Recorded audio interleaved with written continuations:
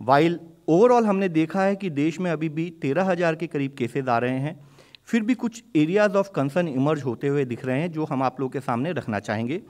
जिसमें मुख्यतः अगर हम देखें तो अगर आप देखें कि महाराष्ट्र में 9 दिसंबर के हफ़्ते में ओवरऑल देश की, वहाँ की स्टेट की केस पॉजिटिविटी 0.76 परसेंट थी तो हमने देखा है कि वह एक महीने में बढ़कर 2.59 प्रतिशत के करीब हो गई है। यानी कि 3.4 times increase in case positivity Maharashtra में नोट की गई है। एक स्थायी पर, जहाँ केस पॉजिटिविटी में वृद्धि हुई है, उसी के साथ ही हमने देखा है कि वहाँ ओवरऑल जो केस रिपोर्ट हो रहे हैं, उसमें भी काफ़ी वृद्धि नोट की गई है।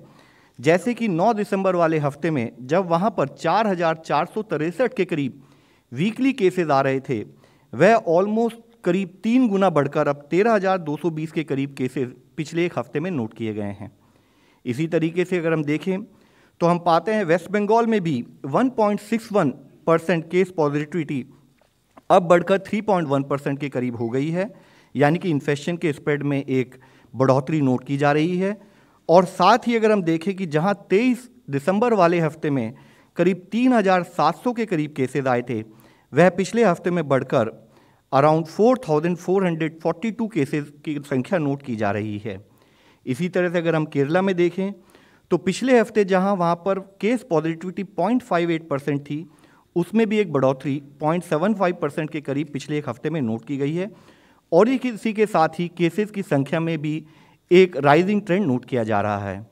दिल्ली का केस अगर हम एनालाइज करें तो हम पाते हैं कि जहाँ दिल्ली में एक महीने पहले करीब 0.11 परसेंट केस पॉजिटिविटी थी, वह बढ़कर अब करीब एक प्रतिशत के करीब हो गई है।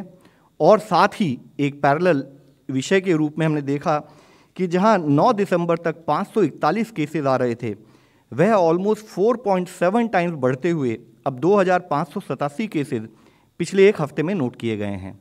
इसी तरह अगर हम देखें कर्नाटका में, पिछले एक हफ़्ते में जहाँ केस पॉजिटिविटी 0.31 परसेंट थी, उसमें बढ़कर 0.52 परसेंट हो गई है। इसी तरह से अगर 2014 केसेस अगर 23 दिसंबर वाले सप्ताह में नोट किए गए तो वह भी बढ़कर 2,533 के करीब केसेस पिछले एक हफ़्ते में नोट किए गए हैं। गुजरात में भी इसी तरीके से 0.19 परसेंट केस पॉजिटिविटी बढ़कर अब 0.54 परसेंट हो गई है। और अगर पिछले एक हफ़्ते के डेटा को एनालाइज करें तो देखते हैं कि जहाँ चार सौ केसेज एक हफ़्ते में आ रहे थे वह बढ़कर 3.4 टाइम्स यानी कि 1711 केसेज पिछले एक हफ़्ते में नोट किए गए हैं।